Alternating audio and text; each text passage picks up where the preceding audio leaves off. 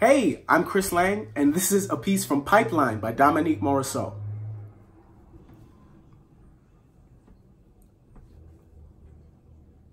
I was sitting in class listening to the lesson. I was going to be a silent observer.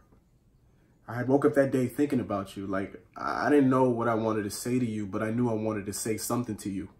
So I called you, but you didn't answer, so I went to class.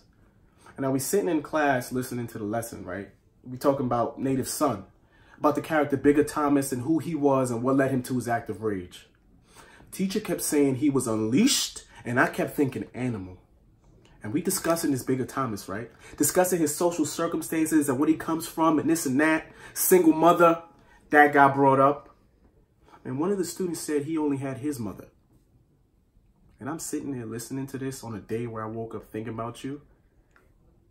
Tell you I had a feeling about getting these checks. That I hadn't seen or talked to you in weeks and where you been. But you didn't answer your phone, so I went to class.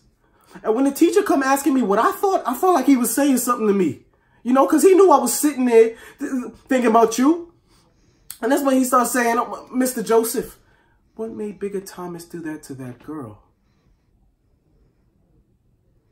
What were his social limitations? What made the animal in him explode? And I'm like, yo, I don't want to talk about it, man. Because all I'm thinking about is you. How I hadn't seen or talked to you in weeks, but I get this check on time, like it's automated, like like the bank sent it to me. And I wanted to know, yo, do you even mail it?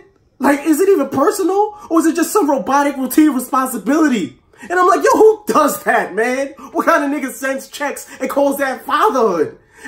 Discussing this bigger Thomas about his circumstances and animals exploded and this and that, and I'm like, yo, don't call on me, man. I don't have the answer.